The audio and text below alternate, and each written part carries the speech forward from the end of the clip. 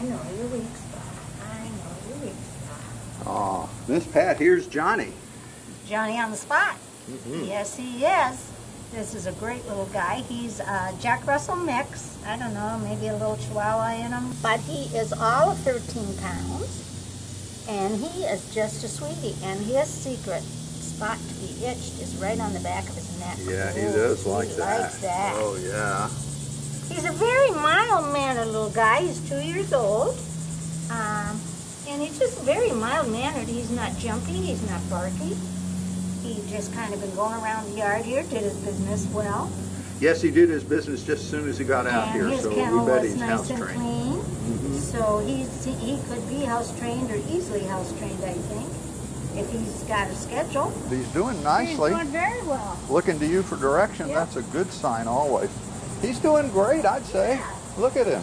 He wouldn't be bad. He's great to take it for a little walk Yeah. and do what I call loose leash walking. Yeah. You know, you're not going to have marks beside you, but just let him do a little investigating.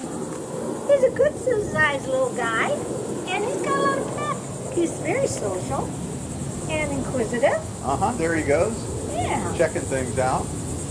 And you know, at two years old, he's not going to get uh, any bigger. Right, what a great little stance, Yeah, you know? yeah.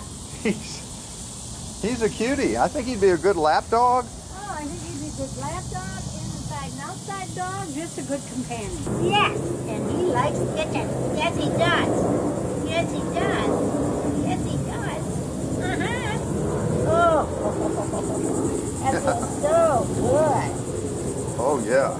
He's, bud. he was owner surrender, and he's just been here a couple of days, and going from a couch to a kennel is a little traumatic. Yeah, he's probably, you know, having to make that transition now. Yeah. But Jack Russells can be, you know, full of energy, and while he has energy, he's not rambunctious, I wouldn't no. say. Uh-uh.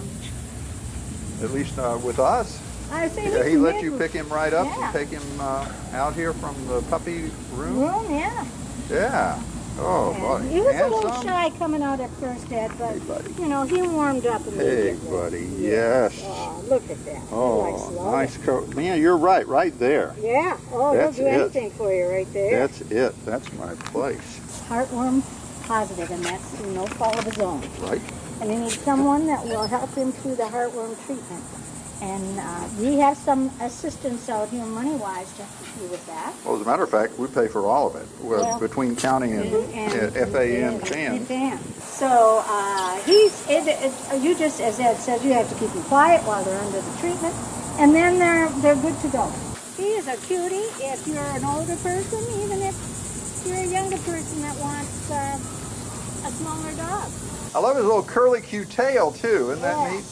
Please come see Johnny here at Nassau County Animal Services in Yulee, Florida, behind the AutoZone on State Road 200. He's a cutie pie, and he needs you now. Come here, Please come see Johnny.